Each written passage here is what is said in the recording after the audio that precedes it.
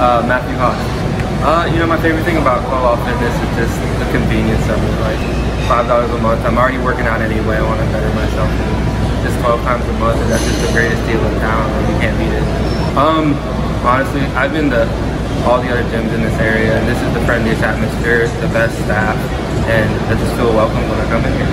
Honestly, they're they're missing out on the best deal in the area.